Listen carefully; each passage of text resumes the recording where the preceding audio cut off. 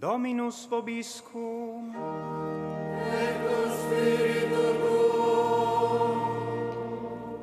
Lectio Sancti Evangelii secundum Matteum.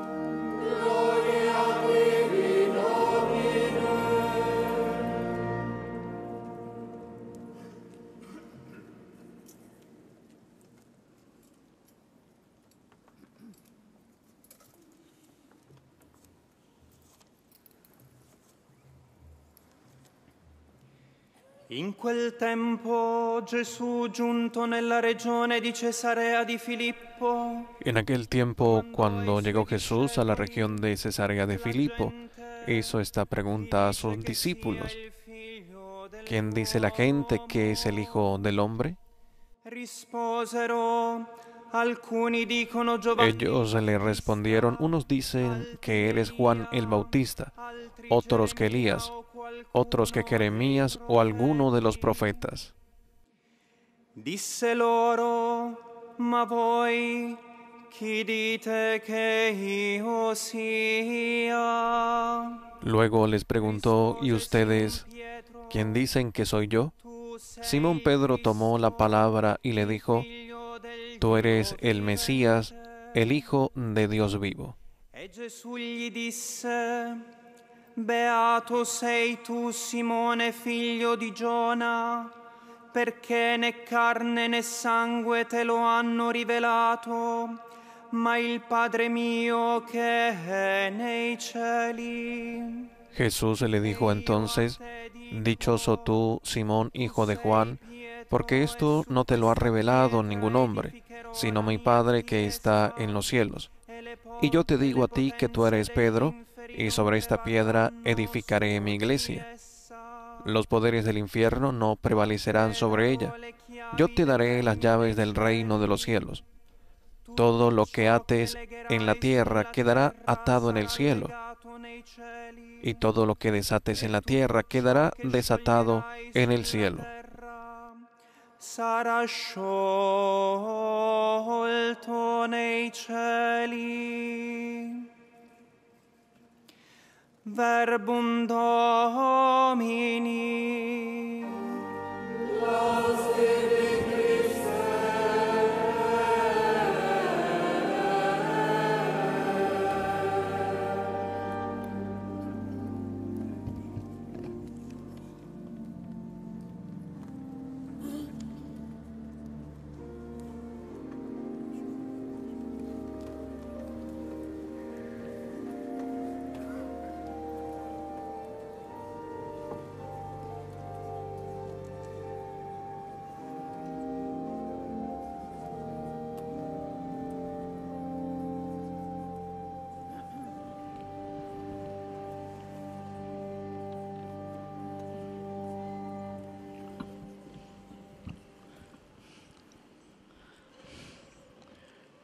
Pietro e Paolo, due apostoli innamorati del Signore.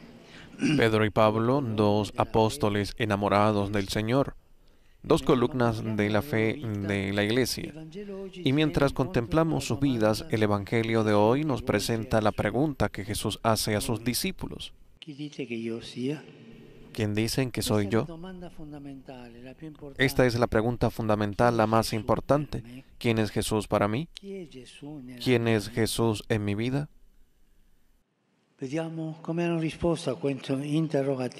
Veamos cómo respondieron a esta pregunta los dos apóstoles.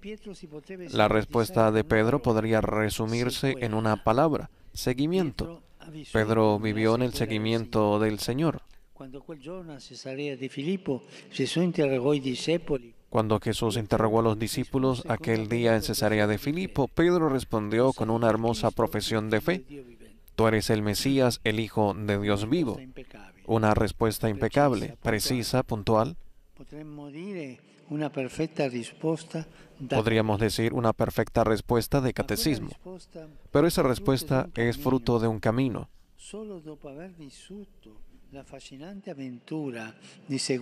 Solo después de haber vivido la fascinante aventura de seguir al Señor, después de haber caminado con Él y en pos de Él durante tanto tiempo, Pedro llega a esa madurez espiritual que lo lleva por gracia a una profesión de fe tan lúcida. Lo stesso evangelista Matteo infatti ci racconta que tutto era iniziato De hecho, el mismo evangelista Mateo nos cuenta que todo empezó un día en que a orilla del mar de Galilea Jesús pasó por allí y lo llamó, junto a su hermano Andrés, e inmediatamente ellos dejaron las redes y lo siguieron. Pedro lo dejó todo para seguir al Señor. Y el Evangelio subraya que lo hizo inmediatamente. Pedro no le dijo a Jesús que se lo pensaría. No hizo cálculos para ver si le convenía. No puso excusas para demorar la decisión, sino que dejó las redes y lo siguió, sin pedir de antemano ninguna seguridad. scoperto tutto di giorno in giorni. Todo lo iría descubriendo día a día al seguir a Jesús y caminar tras él.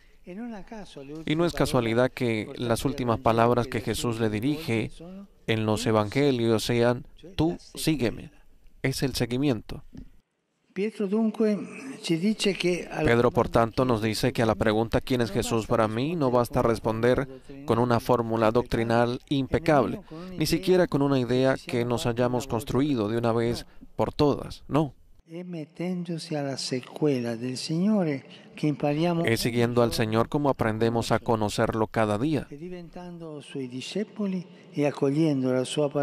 Es haciéndonos sus discípulos y acogiendo su palabra, la manera en que nos convertimos en sus amigos y experimentamos su amor transformador. anche per noi risuona quel subito Ese inmediatamente resuena también para nosotros. Si podemos posponer tantas cosas en la vida, el seguimiento de Jesús es inaplazable. Ahí no podemos dudar, no podemos poner excusas. Y cuidado porque algunas excusas se disfrazan de espiritualidad, como cuando decimos, no soy digno, no soy capaz, ¿qué puedo hacer yo? Esto es un truco del demonio que nos roba la confianza, la confianza en la gracia de Dios, haciéndonos creer que todo depende de nuestras capacidades.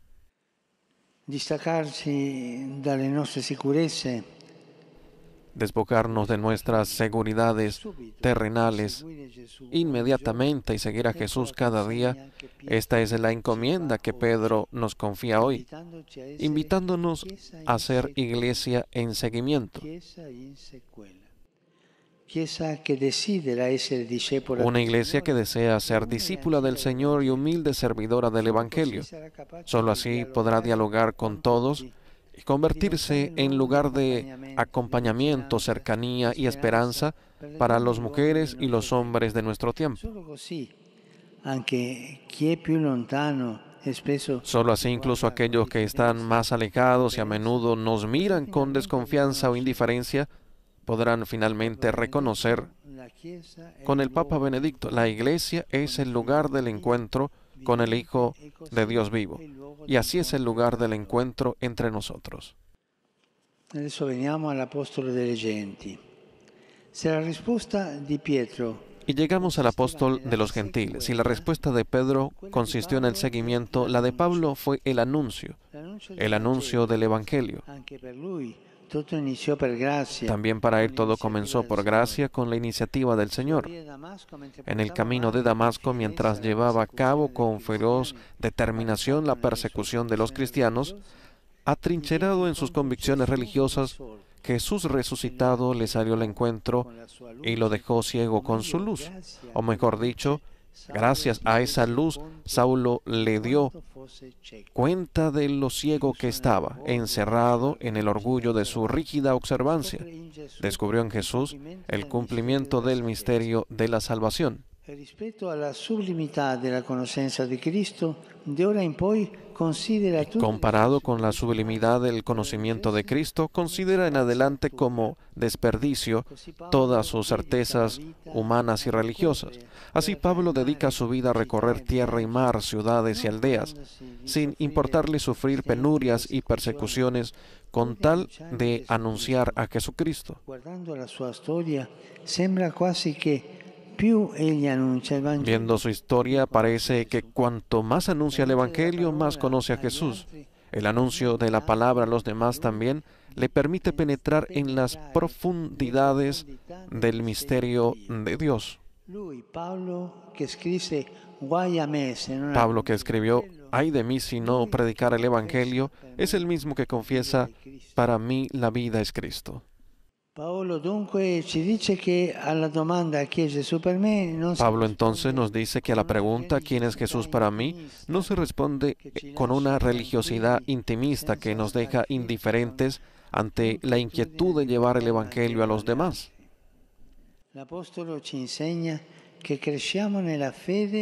El apóstol nos enseña que crecemos en la fe y en el conocimiento del misterio de Cristo. Cuanto más somos sus heraldos y testigos.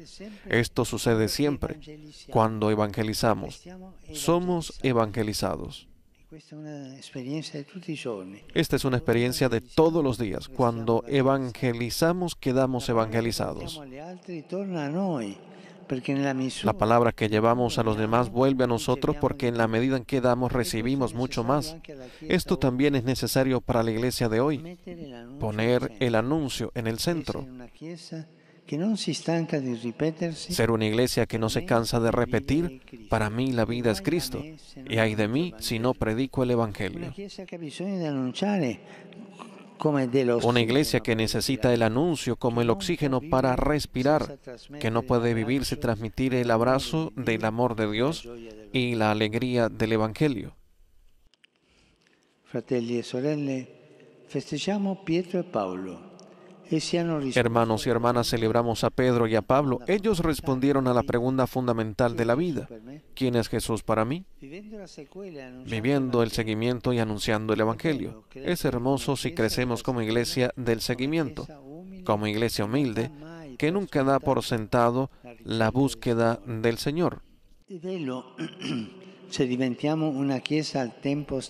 Es hermoso si nos convertimos en una iglesia en salida, que no encuentra su alegría en las cosas del mundo, sino en anunciar el Evangelio al mundo para sembrar la pregunta sobre Dios en el corazón de las personas.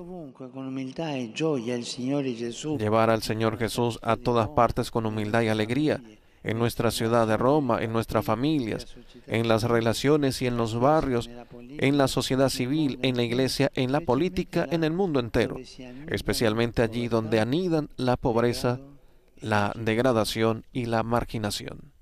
Y hoy en el momento en que algunos de nuestros hermanos arzobispos reciben el palio signo de comunión con la iglesia de Roma, quisiera decirles, sean apóstoles como Pedro y Pablo.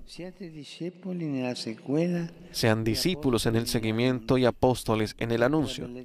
Lleven la belleza del Evangelio a todas partes, junto con todo el pueblo de Dios. E infine desidero rivolgere il mio Y por último quisiera dirigir un afectuoso saludo a la delegación del Patriarcado Ecuménico, enviada hasta aquí de parte de mi querido hermano Su Santidad Bartolomé. Gracias por su presencia. insieme, eh? insieme. Avancemos juntos en el seguimiento y en el anuncio de la palabra, creciendo en fraternidad. E.